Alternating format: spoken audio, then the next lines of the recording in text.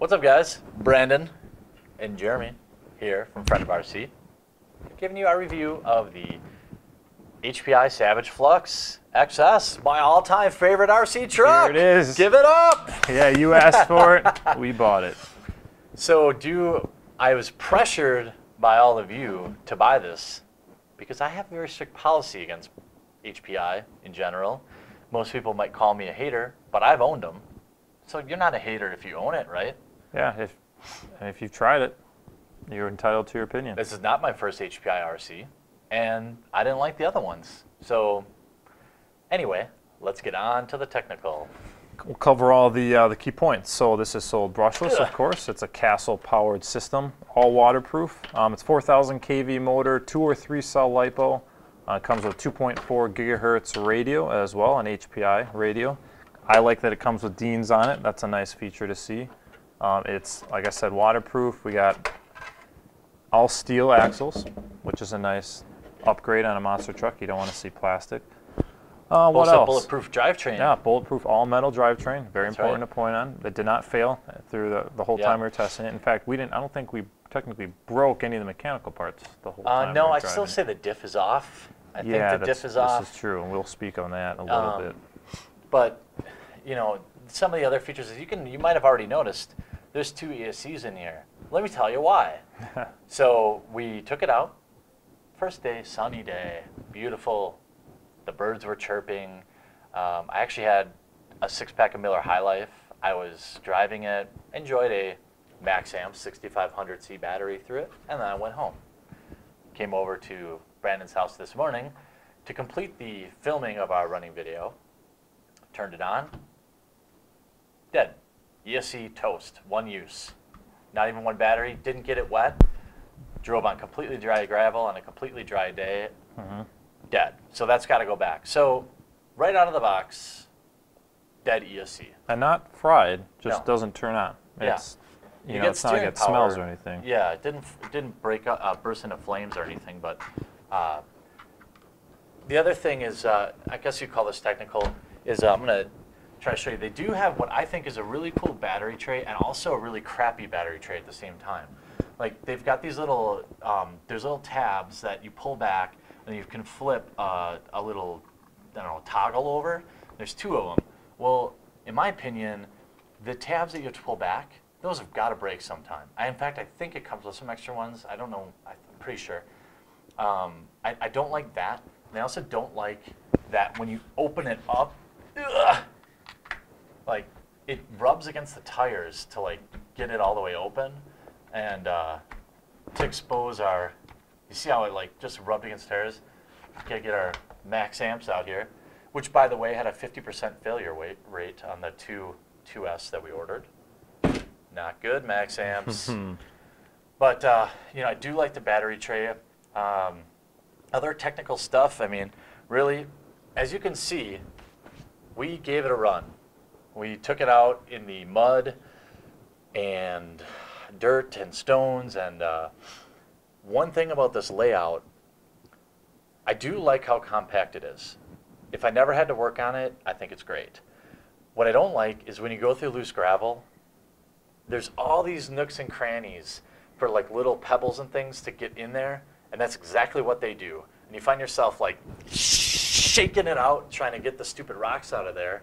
Um, And there's, I'll just point out, there's no way if you don't kit them out to get to them unless you completely disassemble it. yeah, you're not getting at it. We, we thought about multiple times in the field because that diff just that diff does not sound right, and it was just like we didn't have time. We didn't have an hour to tear the thing down and and and look at it, so we just dealt with it. O- and it only an okay. hour. Yeah, yeah. an hour in uh, my time, which is more like 90 minutes real time. Um, it did seem to be hold up as waterproof. I would say we I took more than a risk, uh, as we always do in our running videos. Uh, we don't screw around. Like if we get a good running video and the truck blows up at the end, we're fine with it. In fact, as long as it got on camera, we're extremely Yeah, happy it's it even happened. better, yeah. Um, but very durable. I'll say. Uh, let's go into cost of operation durability. The price, the price of uh, price point right around 300 bucks. Mm-hmm. It's fast as hell. I mean, we ran on a, I ran on a 2S max amps. I couldn't even imagine controlling this thing. at 3S. It was very, very fast. On the other hand, the steering servo, servo was horrible, uh, but I'll give it a pass because you know what? Most RTRs, even even my even the uh, Stampede 4x4 that we love so much, you know, the steering servo is always underpowered. Just, but this thing was exceedingly underpowered, and, and I will tell you, out of the box, uh, when you turn the front tires, it was getting hung up.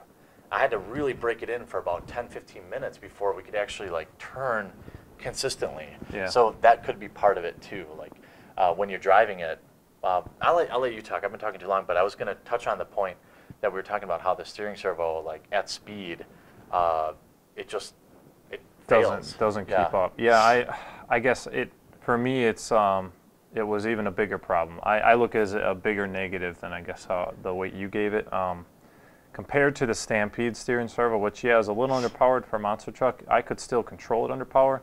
This thing, it's it's fair to say you don't have control under power. When we're driving around on off-road terrain, the steering servo just gives up as soon as you hit the gas, and that's the literally the power of the motor spinning the wheels over overcoming the torque of the servo. And for me, that that's a deal breaker. I Yeah. mean, we were having such a tough time. Even mild off-road terrain, you know, you're just talking like bumpy dirt. It would just go wherever it wanted. I had no control over it. So for me, deal breaker. You'd have to upgrade the servo, and I think HPI should really consider doing that. Mm-hmm. I don't even know what the torque rating is in there. I, I think between 40 and 80, it's very low. Very Yeah. disappointing. It, it uh, yeah, if you hit anything at all whatsoever, it was going in that, whatever the angle that you hit it, that's where it was going. It was uh, very difficult to film too. Like, now this is, uh, as a disclaimer, people said this was a basher, so that's what we did. You look at this thing, we bashed it. I didn't, we didn't take it to a groom track in like a hyperbaric chamber. No, we took it out to like construction site. We took it out to uh, mud field. We took it out on gravel. We took it out. I mean, closed roads. We did everything with this thing, like we would with, let's say, the Stampede 4x4. And uh, you know, I don't want to go on a hating rant. I will say I want to give you some positives. It was when we got it on a surface that was relatively smooth, like the baseball diamond, as you guys will see in the running video. This thing was fun. I mean, we had, I think, after a long day of tweaking it and frustration, I think we kind of looked at each other and were like, "Man, this thing is kind of fun." Like on the on the um, baseball diamond, it was kind of muddy, and we just had it pinned, and it was a lot of fun.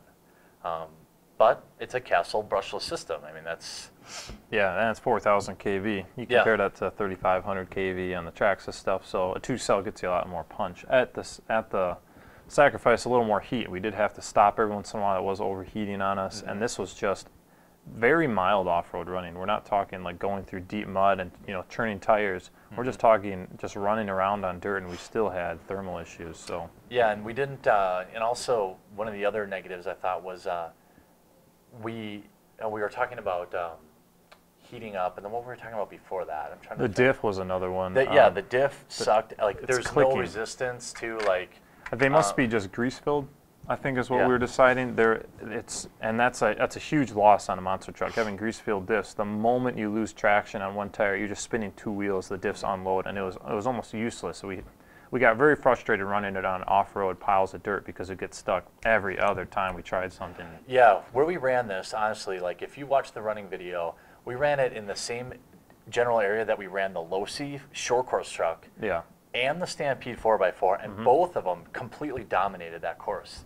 So Yeah. we went out there thinking today we were going to get some great footage. It's like this kind of dumping ground for a construction company, and uh, there's always like piles of dirt, puddles of water, and this. I mean, it would roll over a a rock and just get stuck. I mean, Yeah. it was bad. Yeah. I mean, he would, I'd be like, you know, I'd be with the camera and say, "All right, dude, jump that pile," and like anything else, like with the short course trucks or the Stampede, they would just dominate it. And I was all ready, and they would just go, brick wall. yeah, it wouldn't. There's no. I mean, it is what it is. I mean, I guess like it was ignorant of me to expect uh, it to be like a Stampede, Mhm. but that's the only thing I have to compare it.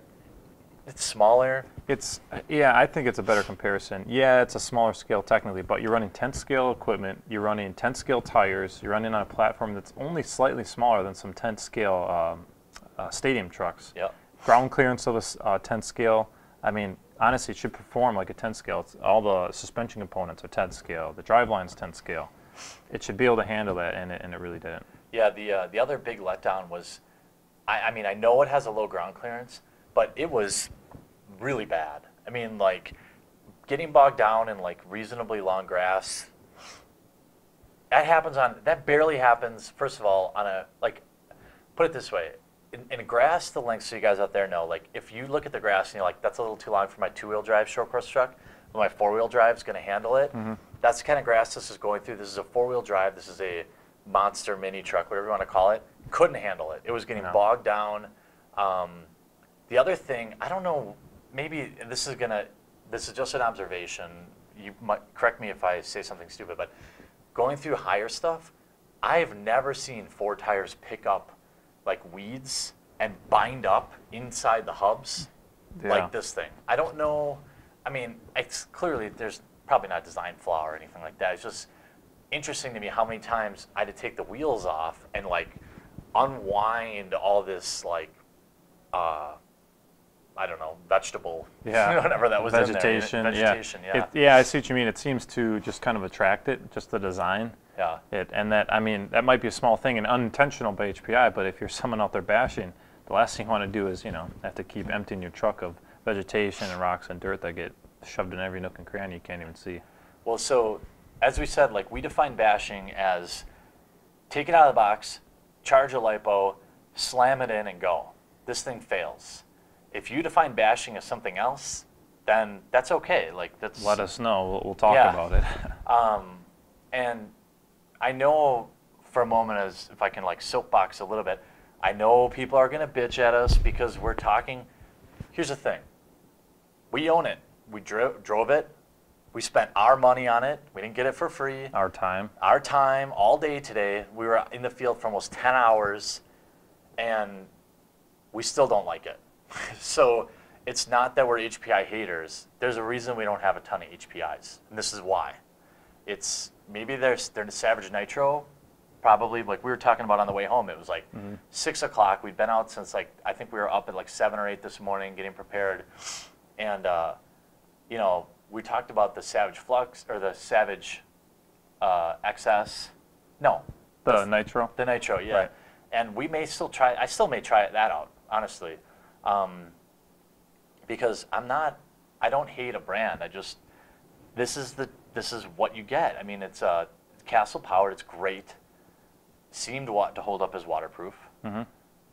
As Doing fast as hell. far. Yeah. If you're gonna race on like a groom surface, um, you know, stay off the gravel unless you want to shake it out every 30 seconds. It's counter. It, it's just counterproductive. Why would you buy a, a bashing monster truck if you have to stay on a groom track the whole time? I guess that's what we're we're kind Yeah. of subtly hinting at. What uh, to its credit, it's still here in one piece and it still works after a whole day of bashing. Yeah. So hey, you HPI, good job on the drive line. good job on just making it durable. But everything else that goes into basher, you know, I guess we sent the benchmark at, and I hate to name drop, but Traxxas.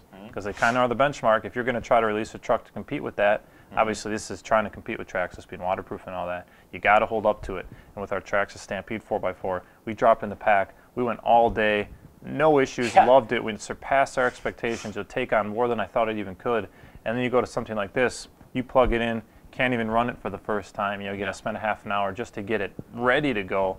And then, you know, we have a list of things we got to replace just to make it a decent basher. Yeah, and I will It's say, tough. like, I won't hold it against HPI that the ESC burned out. Like, that happens, and like, Mm-hmm. I'm, I'm going to be a lot more patient than your average, like, 13, 14 year old who got this for Christmas and now has to wait six weeks. By the way, HPI does, uh, they actually service their own ESCs, which is really nice. It's not like you have to wait forever to get it from Castle, and it's a no questions asked kind of thing with your hobby shop Yeah, the they warranty's can really get a new one sent in, get it back really quick. So that's that's a really good thing that HPI is doing too. Yeah. I probably won't change the power system on this if we decide to keep it. I thought it was plenty fast. I can't Yes. even imagine running on a 3S. It'd be like retarded. It Yeah. was doing standing uh, wheelies, backflips almost on a 2S. Yeah, right. Um, so unless we did like some major mods with the uh, suspension and tires, you know, it's almost like a it's almost like a short course truck. Like, Yeah, I think that sort of terrain, dirt, you can run it through dirt and mud, but it's got to be flat. It's Yeah. not. It just it's just not there. Like we said, if you're selling it as a basher and how we compare it, you want to be able to take out and go. This thing we're gonna and you'll see it in our upcoming videos too. We're gonna have to throw different tire rim combos on this thing, tweak this, a lot of the electronics, a lot of the the drive line, tuning up the diffs, just to make it what it should have been in the first place out Yeah. of the box. And I will say, I think I think I want, as- even as we're talking here, I want to give it that shot. Like we're gonna clean it off. We're gonna replace probably the shocks because they were. I mean, this thing is like a brick hitting the ground. Um, we we'll leave the stock power system there. Fine with that. Replace the steering servo. Figure out what's going on with the diff. Get some different tires. I think these tires, honestly, like the tread, it's pretty pathetic. Yeah, It's that's why we didn't have any traction. There's no tread on this. Like this is not. Uh, I'd like to see a more aggressive tire on that. So we'll throw some better tires, better uh, shocks. Mhm. Probably throw a wheelie bar on there because fill the diffs. yep, fill the diffs. We'll- A long list of things yeah, to here's the thing. When we tear it down to clean it, we're gonna do all the upgrades that at that moment. Yeah, we So- don't want to take it apart more than once. Yeah, I'm already thinking we have basically all the parts except for the shocks. I think these are standard, right? Like these are. Yeah, they're we standard put some, uh, shocks. some, some big uh, bores big on bores there. on here or something. Yeah, I mean it's caked with mud. Anyway, this review's already gone on so long. I don't want to leave you so negative. I will say we had a lot of fun with it. Um, I don't I don't hold the ESC against them, although admittedly when we were out there is like, ah, here we go, HPI, and that's a known issue, by the way, the ESC. It's Yeah. not just us. Um, but I give them whatever. You know, they, they make the truck. They should really just stick to making the trucks. Um, I'm not pumped about cleaning this. Taking it apart. But everything, like you said, everything general, in general held up.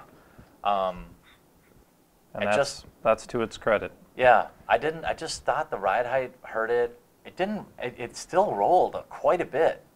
Uh, you'd think with this low ride height, low stance, that it would really grip well, even Mm-hmm. on a slippery surface. I was torsion rolling like crazy. Yeah. and that was frustrating too. Um, so we're gonna we're gonna make we're gonna upgrade this to how we think it should have came, which is basically better steering servo. We'll look at the suspension, better tires or more aggressive tires, wheelie bar, and don't know anything else I'm missing. Not as of right now. But Um, we'll keep you guys informed because we have a, a list. Yeah. So would you buy it again? I'll let you. Would I buy it again? You know, I like the driveline for what they've done, and I'd buy it again if they released, I guess, a second version of it, a V2, if you will, and fixed all these little nitty gritty problems we're having. It would be a lot more of a truck. Um, as it sits now, no, I would not buy it again. I definitely would not buy it again, and let me tell you why. I I really I struggle because I really uh, like it. I really want to like it because it's so fast and it looks so cool. Even though the shell, I think they should have went with a different color because it's like the exact same colors as uh, as the Stampede. Um, I just kind of like it. It feels like something.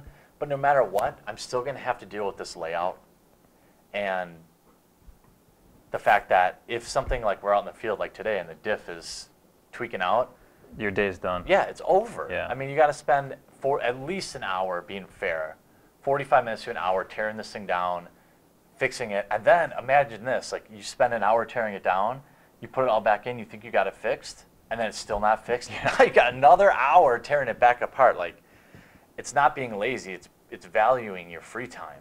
Like we can barely get together once a month. That's why our running videos are so sparse. I think this review is kind of reflecting the complexity of this truck. Yeah. How long it's running because it, there's a lot to say about it. It's very tricky, and we wish we wish we all had more positives and less negatives. Yeah, and I guess we'll we'll we'll get it out. We'll get out of here right now with uh, you know I'm sure this will be a hotly contested topic, but this is just our opinion.